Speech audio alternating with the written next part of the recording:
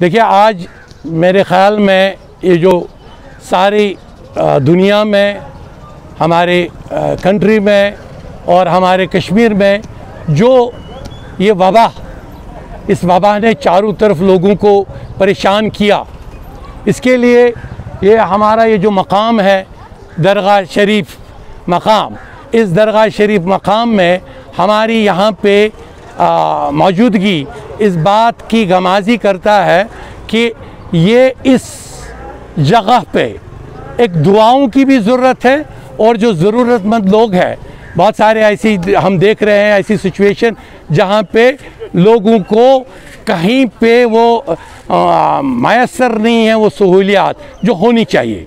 यहाँ पे ऑक्सीजन का इंतज़ाम होना चाहिए। यहाँ पे यहाँ पे ऑक्सीजन का इंतज़ाम होना चाहिए।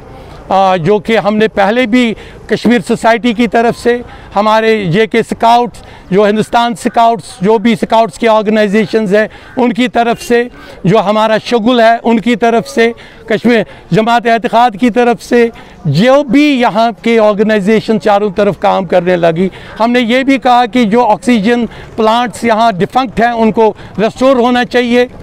क्योंकि कश्मीर को तैयार रहना चाहिए, कोई भी सिचुएशन हो सकती है। और इसके लिए जो भी इस वक्त हमारे पास रिसोर्स है, उनकी मदद लेनी चाहिए और लोगों को आगे आना चाहिए। इस वक्त ऐसी सिचुएशन में ख़ास तौर पर ये जो एतक़ाद है, इसको कायम रखने की ज़रूरत है। इसको जो यहाँ पे अवलियाज है, ये अवलियाओं की दुआओं से ही ये कश्मीर अभी तक बच गया बड़े तूफ़ानों से। भूचालों से बच गया ये, आ, ये जो तूफ़ान आए उनसे बच गया सैलाबों से बच गया और आ, पिछली एक वेव में जो पहली वेव आई उसमें भी बच गया लेकिन जो ये दूसरी वेव है इसमें मैं आपको ज़रूर कहूँगा कि जो इस वक्त कल भी बयान दिया चस्ट डिज़ीज़ हॉस्पिटल के नवीद साहब ने कि इस वक्त वेंटिलेटर्स नहीं है इस वक्त क्राइसिस हैं बेड नहीं मिल रहे हैं। मेरे ख्याल में हमें ऐसी सिचुएशन के लिए तैयार रहना चाहिए, क्योंकि मैं देख रहा हूँ, मैंने अपील भी की थी, यहाँ के हनफी मसाजिद है, और उनके साथ जो मुसलिक जो इन, ये आस्थान है, इवन आस्थानों में भी लोगों को हमें पनाह देनी चाहिए। और ये देखनी चाहिए कि ज़रूरतमंद लोगों को जो पहले हुआ करता था, लंगर हुआ करता था, उस लंगर को रिवाइव करने की ज़रूरत है। क्योंकि क्या इस वक्त मजदूर बैठे हैं लोगों के पास, इस वक्त वो कैपेसिटी नहीं है, वो आमदनी करें। तो ऐसे सिचुएशन में लंगर हुआ करते थे, जहाँ पे कम्युनिटी डिस्ट्रीब्यूशन हुआ करता था।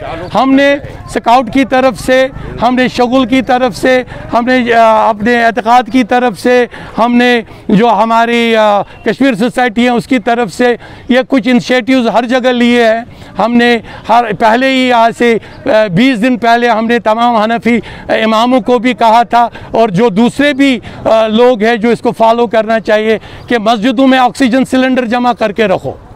ये जो दरगाह मकाम है, ये दरगाह मकाम पे जब यहाँ दिल टूट जाते हैं, जब आँसू बहते हैं तो लोग इसकी तरफ़ रुजू करते हैं। यहाँ पे भी हल, आ, ये जो वक्फ़ है वक्फ़ को यहाँ पे ऑक्सीजन सिलेंडर रखने चाहिए। इस वक्त अगर किसी को घर में ऑक्सीजन के बगैर तड़प रहा है तो वक्फ़ को आगे आना चाहिए। वक्फ़ को दरवाज़ा बंद करके नहीं बैठना चाहिए।